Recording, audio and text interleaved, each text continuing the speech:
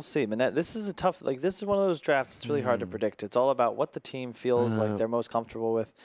Wyvern, do you think Wyvern can work?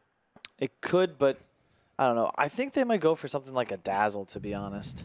And uh, some sort of save though.